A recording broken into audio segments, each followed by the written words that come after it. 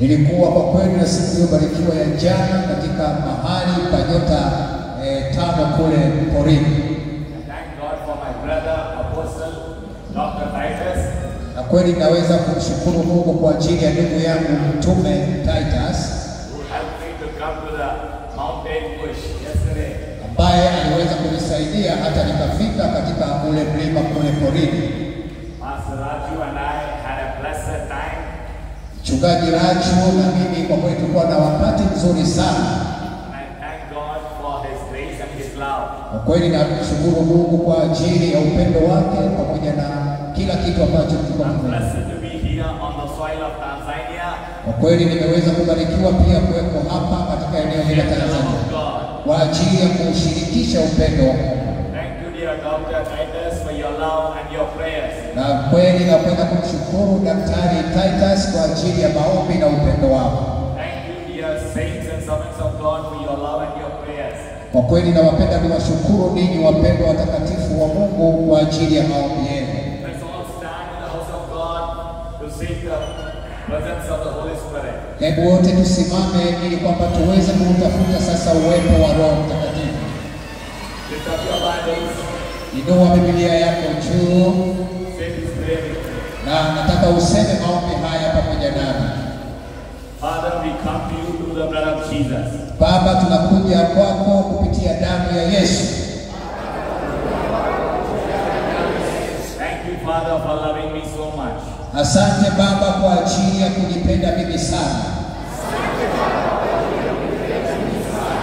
Thank you, Jesus, for your grace upon my life.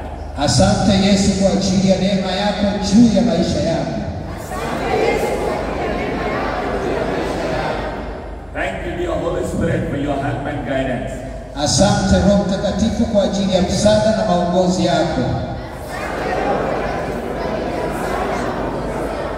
I believe in my heart Naamini katika moyo wangu Lord Jesus died for me on the cross. Yesu Kristo ulikufa msalabani kwa ajili ya maisha yangu.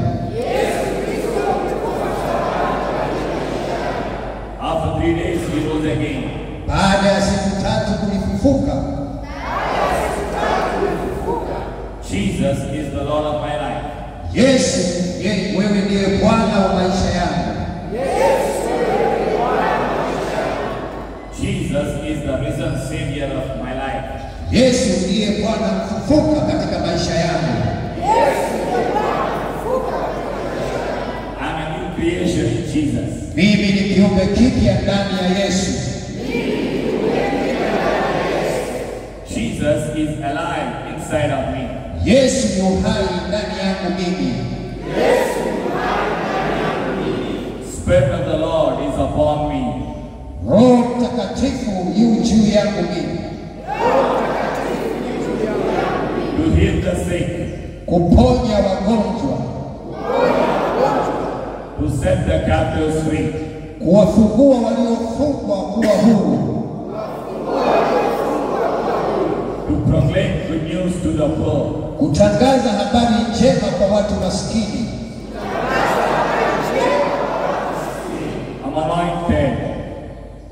I'm anointed.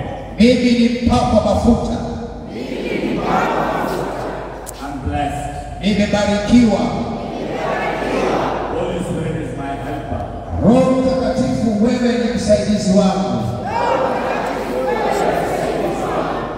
Holy Spirit is my teacher. Roho Mtakatifu ni mwalimu wangu. Willing to receive Ninaamini nimeokoka the love of God. kwa upendo wa Mungu. I'm willing to serve Lord Jesus. Nime nina dhamira kabisa ya kumtumikia Yesu. I'm willing to obey the word of God. Nipo kwa ajili ya kulitii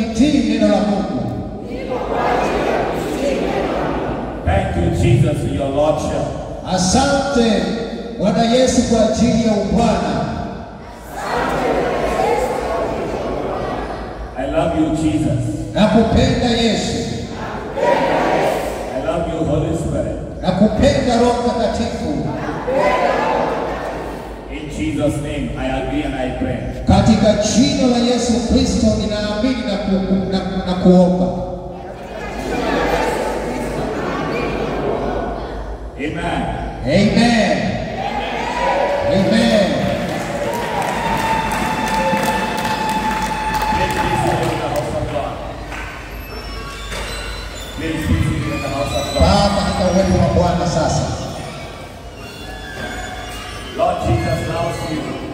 Bwana Yesu anakupenda.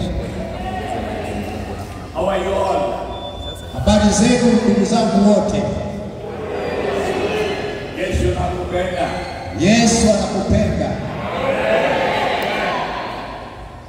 I'm happy to be here in the house of God. Ninayo furaha kuwepo tena katika nyumba ya Mungu. Today also for few minutes I'm going to encourage you with the word of God.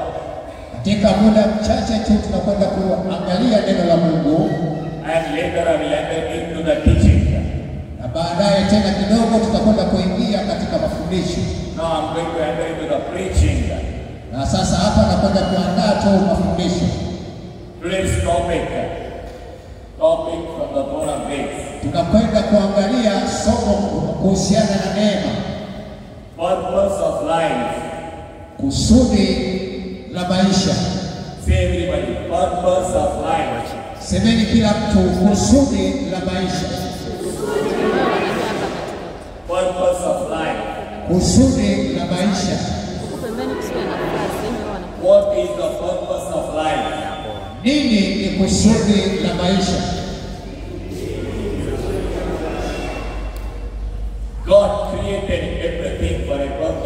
Mungu aliumba kila kitu kwa ajili ya kusudi. God does everything with a purpose. Mungu hufanya kila kitu akiwa na kusudi. John the Gospel, Katika Injili ya Yohana chapter 15, ile sura ya kumi na tano verse 15. Chapter, John the Gospel, chapter 15, verse 16.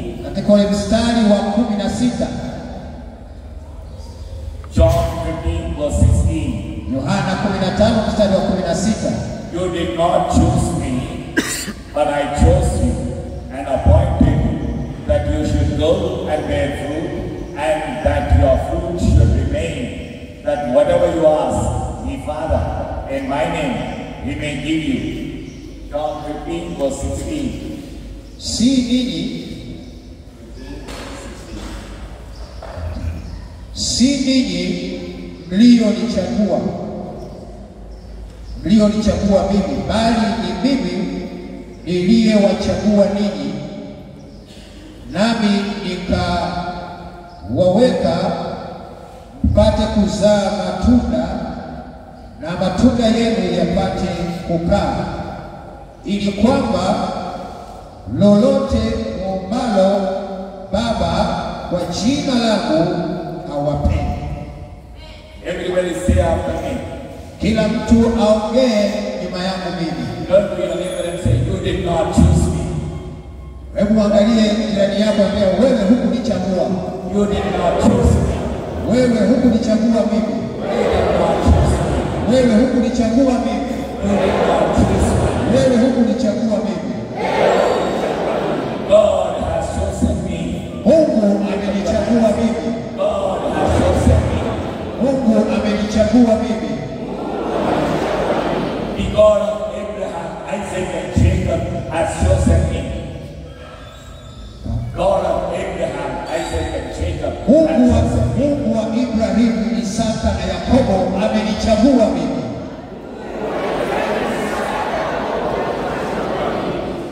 The God of Abraham appointed me. Mungu wa Ibrahimu aliniteua mimi.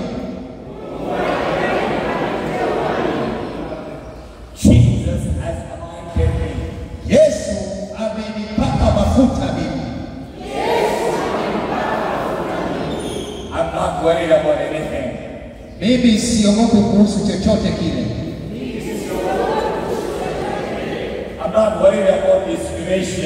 Mimi siwezi tena kuogopa hata uumbaji huu.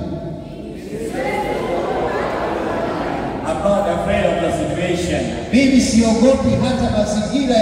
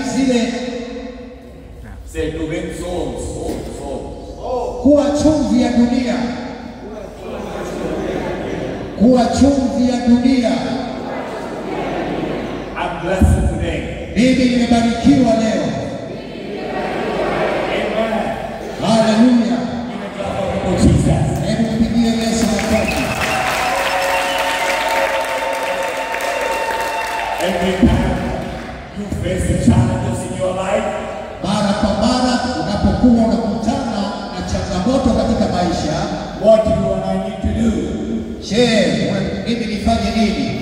you and I need to remember the goodness of Jesus. Lazima ukumbuke kwamba tunaye Yesu. In spite of challenges, you need to come into the presence of God. To remember His goodness. Ni muhimu sana nyakati zote kuja mbele za za Kristo na kujua ule wema wake. Purpose of life. Nini kwa kusudi la maisha? Why did God create you and me? Kile ambacho Mungu amekuumba wewe na mimi, There is a purpose of God. kuna kusudi la Mungu katika hilo. There is a plan of God in your life. Kuna mpango wa Mungu katika maisha yako.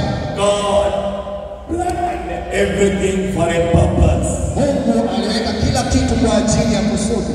God created everything for a purpose. Mungu aliumba kila kitu kwa ajili ya kusudi. God does not do anything without a reason. Mungu hawezi kufanya chochote asipokuwa na kusudi. Why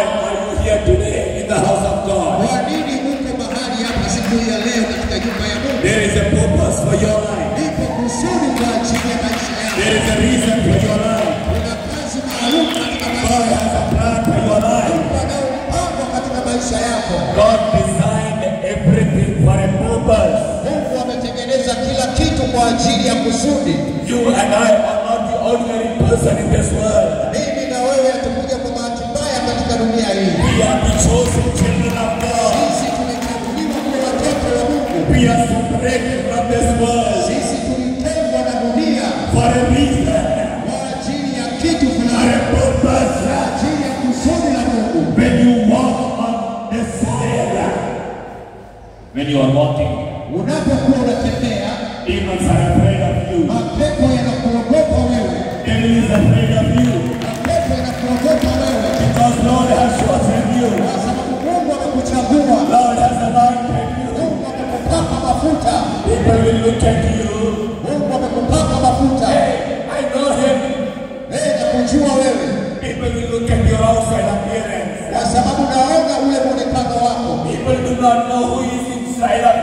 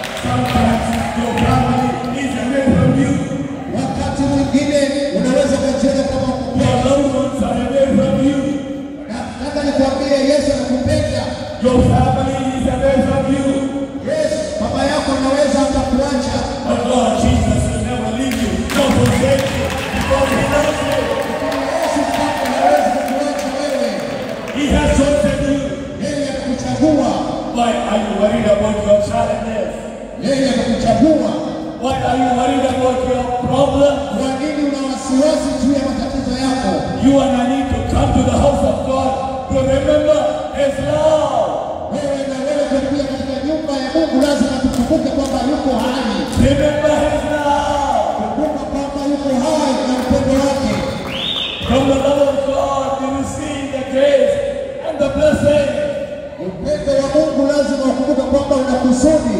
Lord Jesus loves you so much. Yesu anakupenda wewe sana. He loves you so much.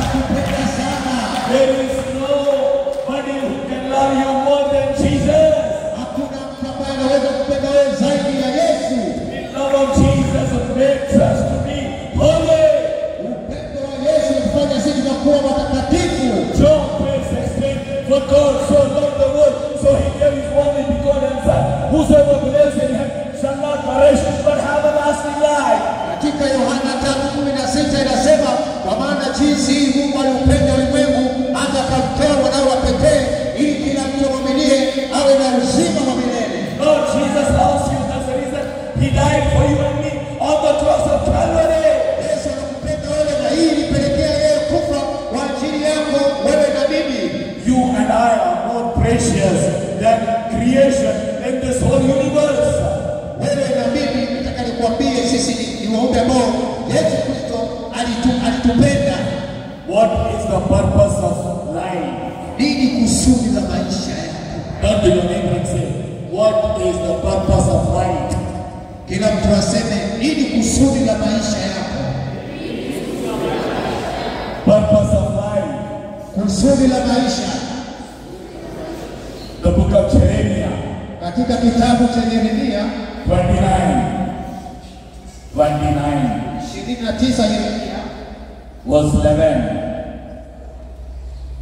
I know the thoughts that I think toward you, says the Lord, thoughts of peace and not of evil, to give you a future and a hope. Jeremiah 29,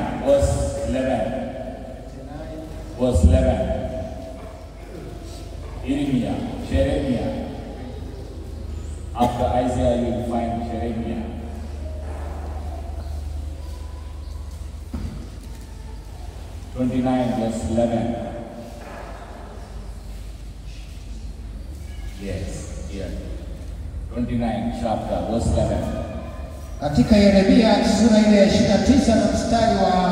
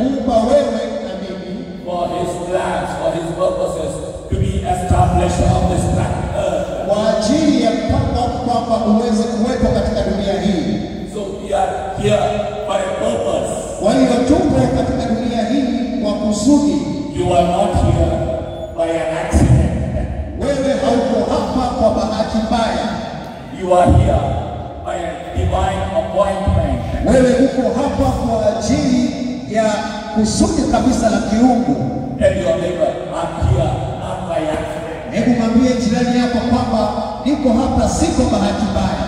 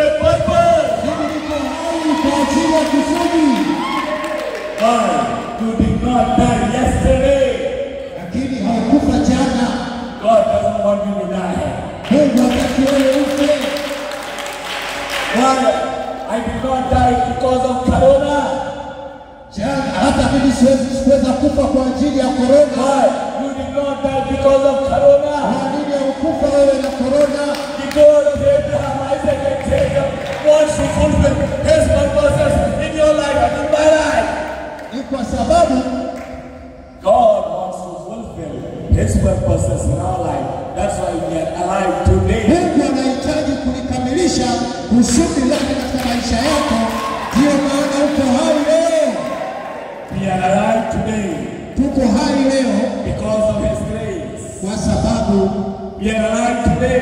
Tuko hai leo to fulfill his purposes. Kwa ajili ya kulitimiza kusudi lake. You are born again. Uko hapa leo. I'm born again. Nimeokoka. To fulfill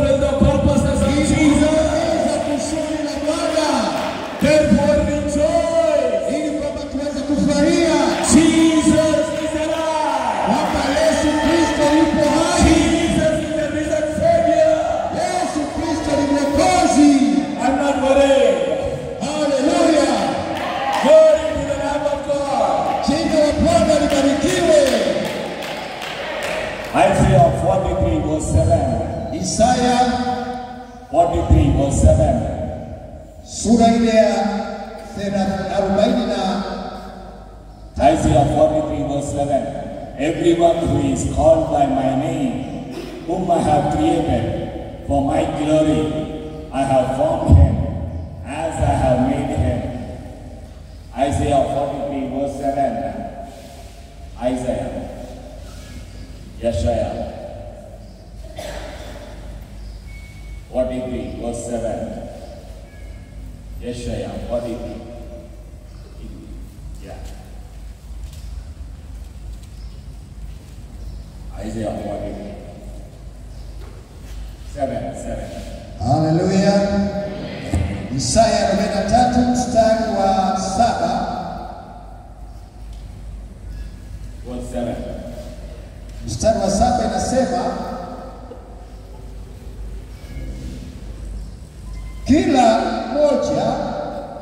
aliyeitwa kwa jina langu, niliyemuumba kwa ajili ya utukufu wangu, mimi nimemuumba na mimi nimemfanya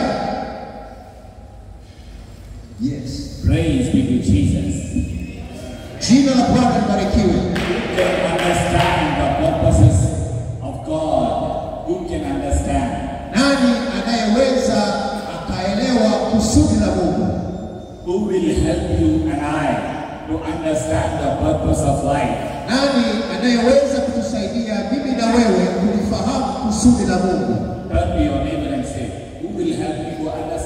Hebu mgeukie jirani yako, alafu muulize nani atatusaidia kulifahamu kusudi la Mungu. Holy Spirit.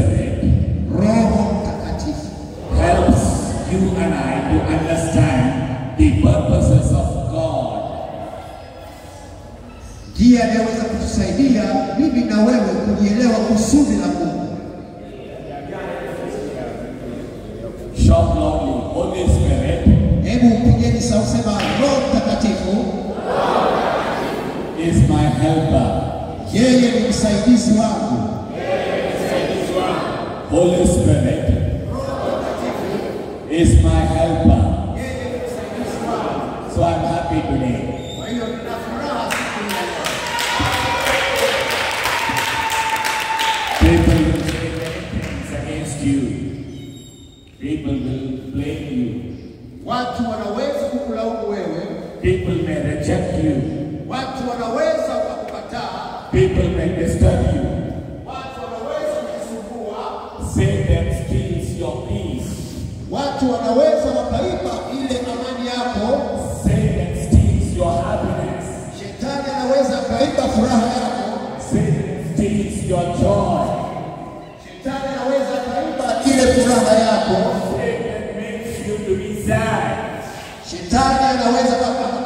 Kufanya uzuri. But thanks be to Jesus for his promise in our lives. lakini Yesu naweza nikazungumza kwa Yesu nini kusudi ndani ya maisha yangu, We are not the ordinary people. na lakini si kwa watu wa kawaida. We are chosen. Sisi tumechaguliwa, And God you are neighbor and say, I'm chosen. mimi nimechaguliwa. And say, I'm chosen. Hebu mwambie jirani yako pia nimechaguliwa, I'm chosen. Yako I'm mimi nimeteuliwa. Roho Mtakatifu ni msaidizi wangu. Roho Mtakatifu ananisaidia ili kuweza kuona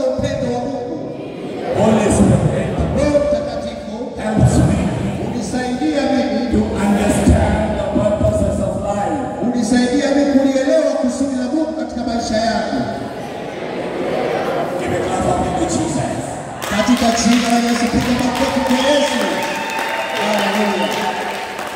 As a believer, Kama mwamini, there's a difference between believer and a disciple. kuna tofauti kati ya mwamini na mwanafunzi wa Yesu. We are in the school of discipleship. Tupo katika shule ya wanafunzi. Believer means anyone who believes in Jesus Christ. Mwamini maana yake ni yule anayeamini katika Yesu, That Jesus died for me on the cross. ya kwamba Yesu alikufa kwa ajili yangu juu ya msalaba. Yoyote yule ambaye anatubu dhambi zake na kuweza ku, kuamini kile ambacho kime- kime- kimeelezewa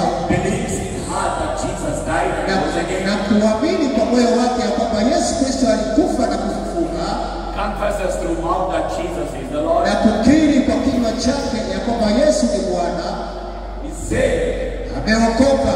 He is called. Huyo anaitwa ni mwamini. Who is a disciple? Wa wanafunzi wa Yesu ni nani?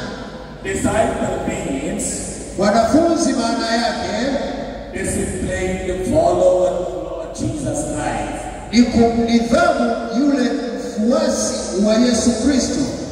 Disciple means Wanafunzi maana yake disciplined follower of Lord Jesus Christ. ni kumnidhamu yule mfuasi wa Yesu Kristo.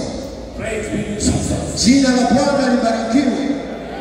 Holy Spirit helps you and I Roho Mtakatifu kusaidia wewe na mimi to understand the purposes of Jesus in our life. kwa ajili ya kuelewa ule mchakato mzima katika maisha yetu. You and I will understand Wewe na mimi tutaelewa the purpose of life. kusudi lile la maisha, How to understand. kwa jinsi gani tunafahamu. Holy Spirit makes you and I to remember. Roho Mtakatifu utusaidia mimi na wewe kukumbuka. Holy Spirit helps us to remember Roho Mtakatifu utusaidia sisi kukumbuka the goodness of Christ, ule ule uwema wa Kristo, the faithfulness of God, ule uaminifu wa Mungu always. siku zote. Psalm 77, Zaburi ya 77 11 to 14. mstari wa kumi na moja hadi kumi na nne 77, Psalm 77. I will remember the works of the Lord. Surely I will remember your wonders of old. Wonders of old. I will also meditate on all your works and talk of your deeds. Your ways, O God, is in the sanctuary. Who is so great, a God as our God. You have Psalm 11 to 14. nitayakumbuka matendo ya Bwana na nitayakumbuka maajabu yako ya kale. Mstari wa kumi na mbili pia itatafakari kazi yako yote, ita itazi, itaziwaza habari za matendo yako. Mstari wa kumi na tatu Ee Mungu, njia yako katika utakatifu. Ni nani aliye Mungu kuu kama kama Mungu? Wewe ndiwe Mungu ufanyaye maajabu, uliudhihirisha uweza wako kati ya mataifa. Amen. Amen.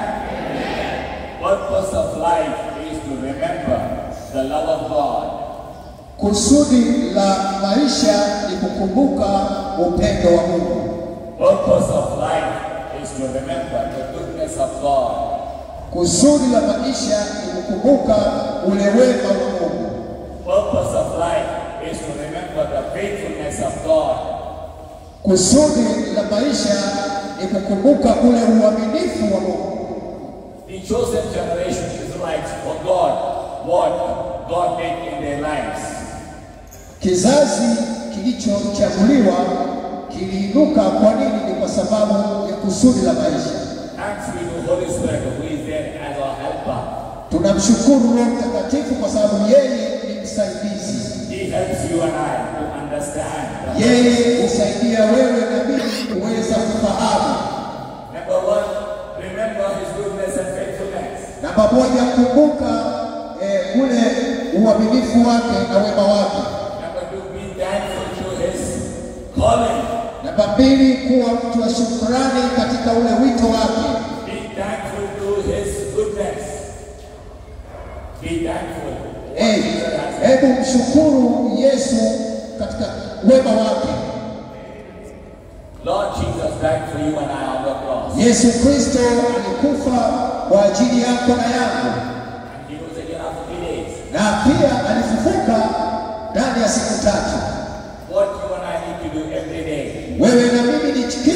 kipi twapaswa kufanya kila siku? Hebu mshukuru Mungu kwa ajili ya upendo wake. Hebu mshukuru yeye kwa ajili ya neema yake. Hebu mshukuru Yesu kwa kile alichokifanya juu ya msalaba. Mimi na wewe tunapaswa kuwa na moyo wa shukurani kwa kile ambacho Yesu alikifanya. Zaburi 103. Bless the Lord, O my soul, Zaburi mia na tatu and all that is within me. Bless his holy name. Bless the Lord, O my soul, and forget not all his benefits, who forgives all your iniquities, who heals all your diseases. Ee nafsi yangu umhimidi Bwana, na vyote vilivyo ndani yangu vilihimidi jina lake takatifu.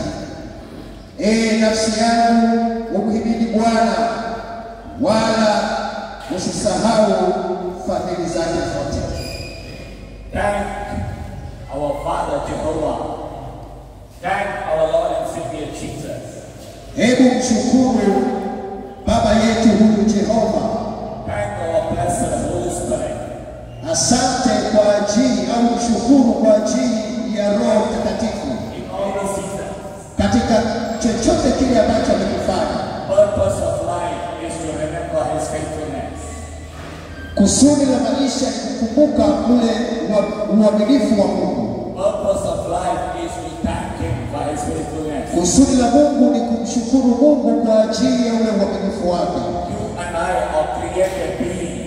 Mimi na wewe ni viumbe vilivyoumbwa. You and I need to worship our Father Jehovah Mimi na wewe tunapaswa kumwabudu Mungu wetu Jehova katika roho na kweli. Wewe Mtakatifu utusaidia sisi kuweza kuabudu. Nini Mungu anakitaka kutoka kwako na kwangu mimi? God is not happy when you give Him money. Mungu hana furaha kama unampa pesa. If you give me kuku, I'll be happy after eating kuku. Kama unanipa mimi kuku, nitajisikia furaha, But God is not happy by the things. Lakini Mungu hana furaha kwa ajili ya vitu. Kama unampa ugali na ndizi, hiyo haijalishi. Kwa mimi itakuwa itakuwa na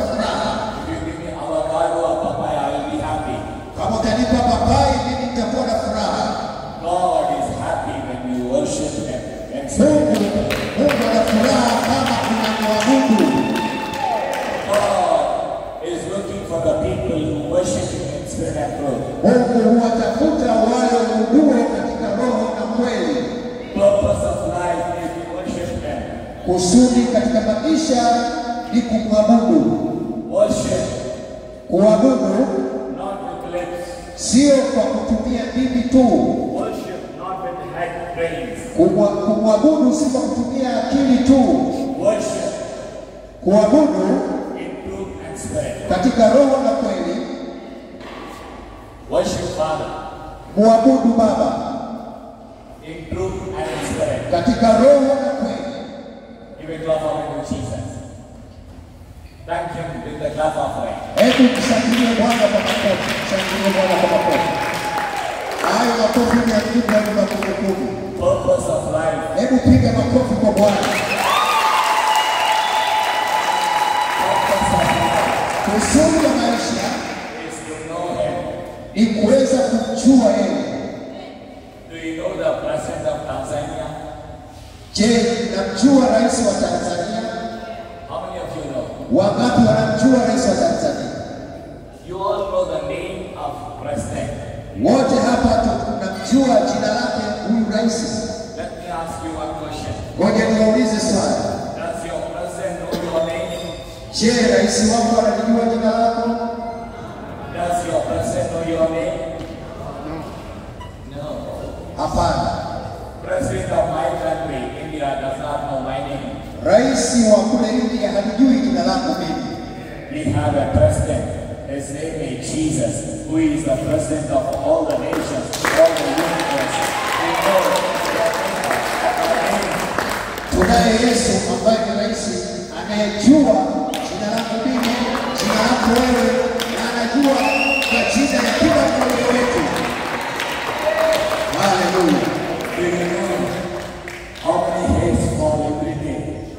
Je, unajua idadi ya nywele zako wewe? Does anyone know in this whole universe? Je, kuna mtu ambaye anajua idadi ya hizo nywele? But Bible says, Lakini Biblia inasema how many hairs are falling every day? haleluya,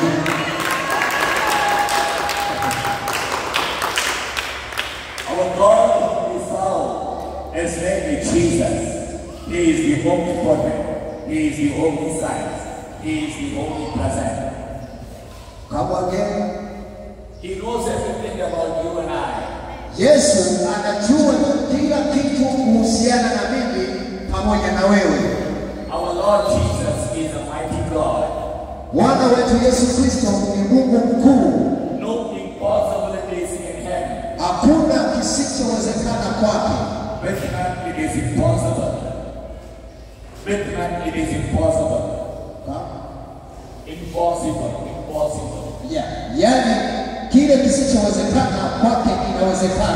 With God, all things are possible. Kwa Mungu kila kitu kinawezekana. Kwa Mungu kila kitu kinawezekana. All things are possible with my Lord and Savior Jesus. Kila kitu kinawezekana kwa Yesu Kristo Bwana na Mwokozi wangu. Do not worry about anything in life. Je, kwa kweli hautakiwi kuwa na wasiwasi kwa kitu chochote katika maisha hapa. Purpose of life is to know Him. Kusudi la maisha ni kumjua yeye. To know Him means to have a relationship. Kumjua yeye maana yake ni kuwa na mahusiano au kuwa na uhusiano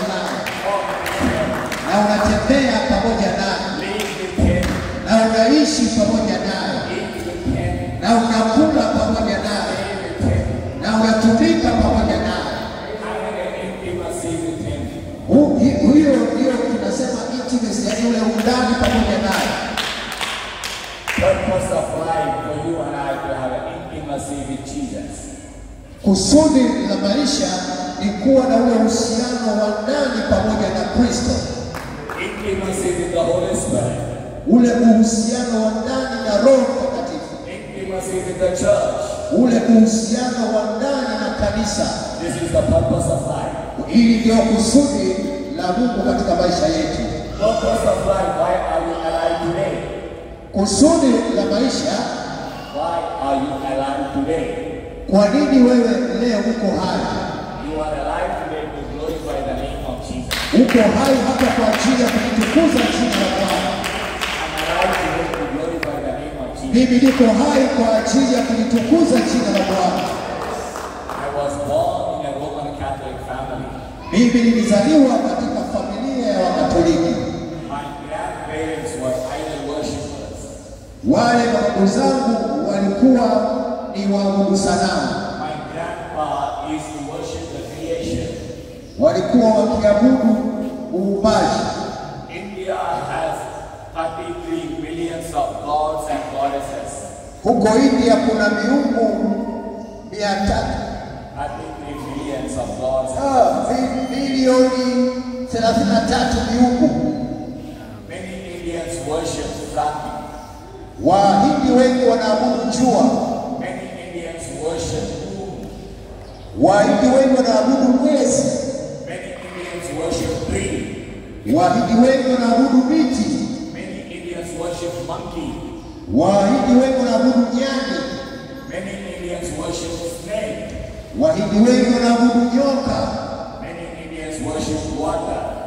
Wahindi wengi wanaabudu mpaka maji, Many Indians worship wind. Wahindi wengi wanaabudu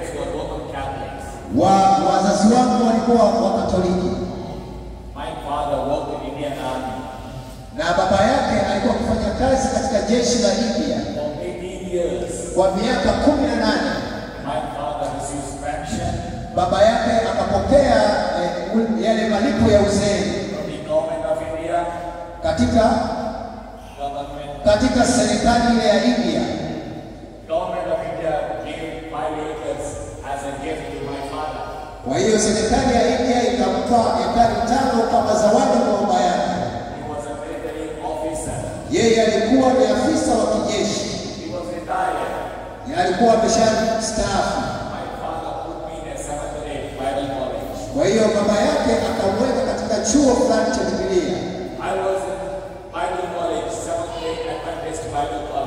Kwa hiyo alikuwa katika chuo cha Kisabato, akafanya theolojia yake, I worked for seventh grade for 10 years.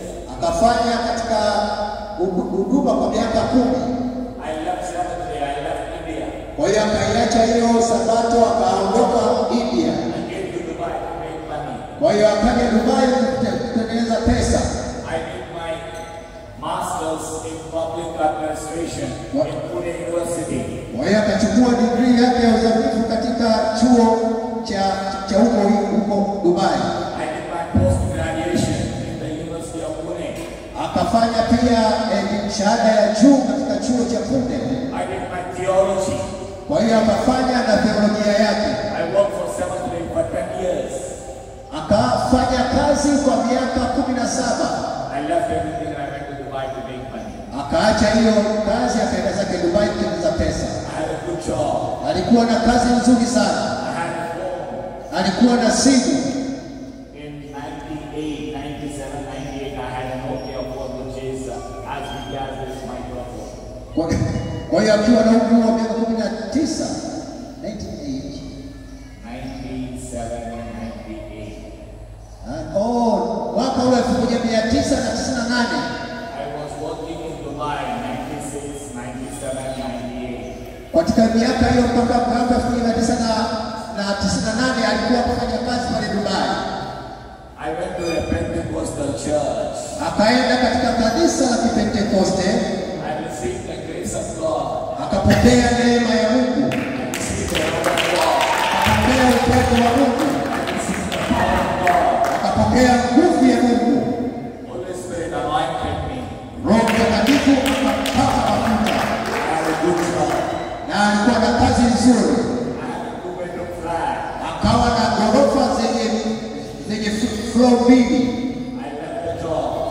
akaacha kazi.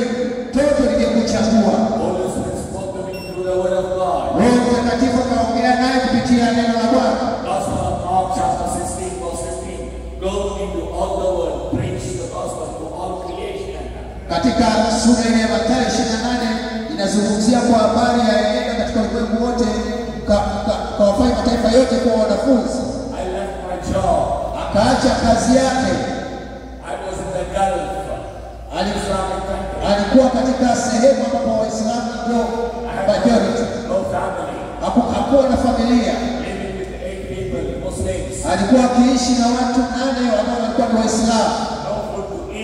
Hakuna chakula chakula,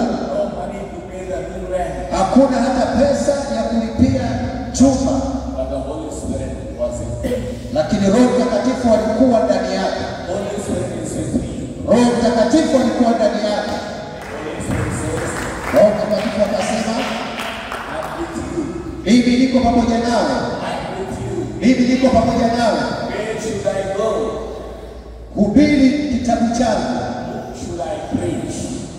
Kule ambapo atahubiri. Roho Mtakatifu akamwongoza. My father wrote me a letter. Baba yake akamwandikia barua, Support me. Send money. nitumie mimi pesa, Build a house in the city.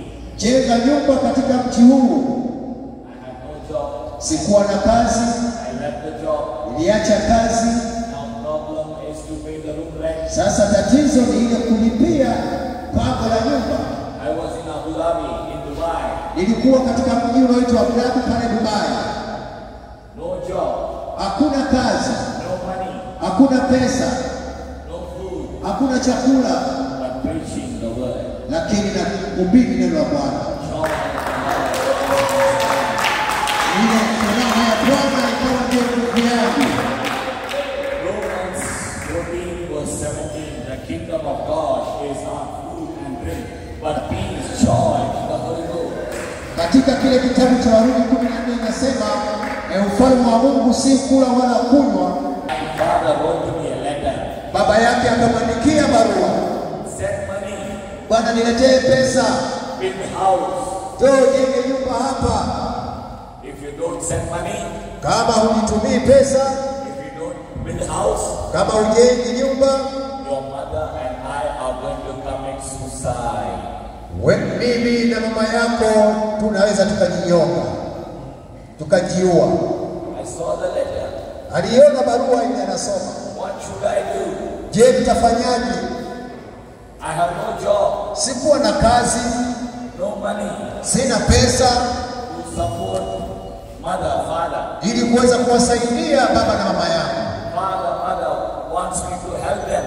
Baba na mama wanahitaji niwasaidie. What did I do? Je, nifanyeje? I prayed. Nikaomba, I prayed. nikaomba, Holy Spirit help me. Roho Mtakatifu nisaidie.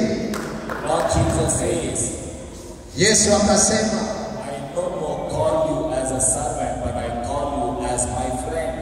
sijakuita wewe kama rafiki wangu. Holy Spirit says, Roho Mtakatifu akasema, I will never leave siwezi kukuacha wala kuku- kukutupa. If you serve me, Kama utanitumikia, if you leave your mother, your father, your children for the sake of kingdom of God, kama utakuwa una, una, una, una, unasikiliza baba na mama, you will receive them in heaven.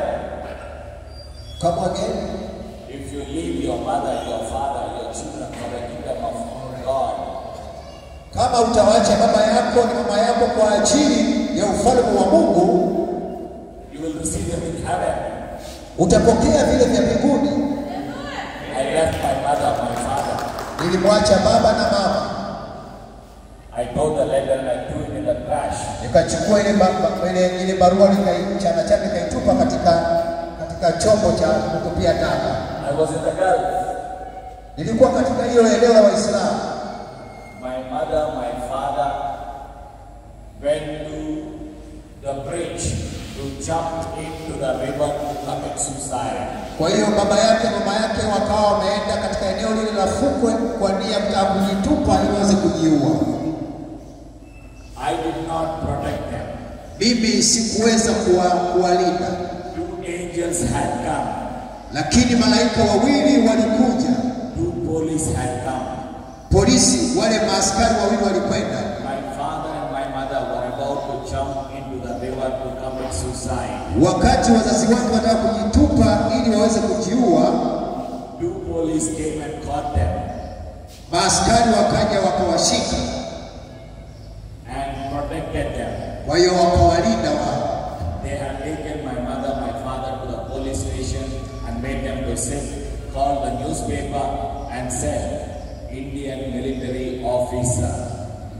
wali wali ili- walipowachukua wakawapeleka mpaka kituo cha polisi, wakawaita waandishi wa habari ili kwamba waweze ku, ku, ku, kuwahoji, na cha ajabu ni kwamba mzee wake alikuwa ni afisa wa kijeshi. Indian military officer came with with wife to commit suicide because he has a son who is making good money in Dubai, not Jamani, waandishi wa habari sasa pale ndo wakazipata hizo taarifa. Afisa huyu wa kijeshi mstaafu na, na mke wake wataka kujitupa katika bali waweze kujiua. Kisa ni kwa sababu mtoto wao anaishi Abu Dhabi hakuwapa pesa ya kuweza kuwasaidia. I did not protect my mother and father, but Lord Jesus protected them. Alishindwa kuwalinda, lakini Yesu Kristo ndiye ambaye aliwalinda. The God who called you and I is faithful. Lord Jesus is faithful. Lord Jesus protected my mother and father. Yule ambaye ametuita sisi ni mwaminifu, ndiye aliyeweza kumlinda baba yangu na mama yangu.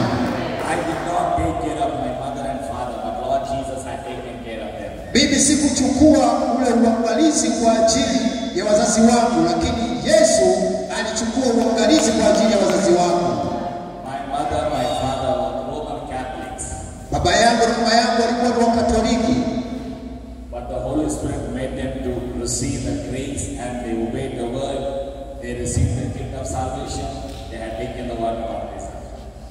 Kweli ni ajabu sana, kwa sababu Roho Mtakatifu alisababisha mpaka wazazi wake wakapokea neema hii ya Mungu, na mpaka anapozungumza kwamba walibatizwa katika ubatizo wa maji mengi na sasa wameokoka. Baba yake alifariki na amekwenda ametwaliwa na Bwana Yesu. Baba yangu mimi bado yuko hai. Baba is yeye ni mwaminifu kama hivyo jinsi ambavyo mimi na wewe Christ. Jina la Bwana libarikiwe. Kusudi la maisha ni kulitukuza jina la Bwana. You are here for a purpose. Uko hapa kwa ajili ya kusudi. Hebu hebu tusimame wote mbele za uwepo wa Bwana. Uko hapa kwa ajili ya kusudi la maisha. Mimi sijui mapito yako unayopitia. Mimi sijajua kusudi lile ulionalo kwa siku hii ya leo. Tunaye Yesu Kristo katika nyumba hii leo. Lord Jesus is a mighty God. Yesu Kristo ni Mungu mkuu. Yesu Kristo anajua chochote kile ulicho nacho. He knows what you need. Yeye anajua unachokihitaji. When I was in pain, problem, Ninapokuwa katika maumivu au matatizo, Lord Jesus help me. Yesu Kristo hunisaidia. Holy Spirit help me. Roho Mtakatifu hunisaidia. Holy Spirit is going to help you. Ye, eh, Roho Mtakatifu anakwenda kukusaidia. Lord Jesus is going to help you. Yesu anapenda kukusaidia. Purpose of life is to glorify the name of Jesus. Kusudi la maisha ni kulitukuza. Do not be afraid. Usiogope, Do not worry usi, usichoke, about your challenges. usiogope kuhusu mapito yako. Say this prayer with me. Hebu omba maombi haya pamoja nami. Jesus Yesu, is the Lord of my life. wewe ni Bwana wa maisha yangu. I believe in Jesus. Ninaamini katika Yesu. Jesus died for me on the cross. Yesu Kristo alikufa kwa ajili yangu msalabani. After three days, Baada ya siku tatu,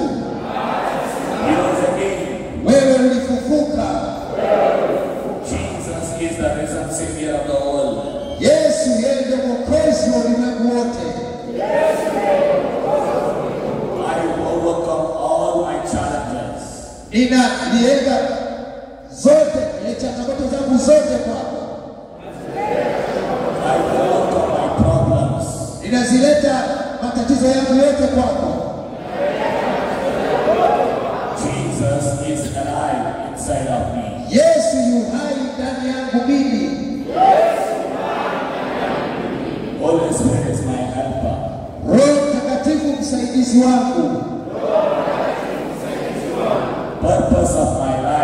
Life Kusudi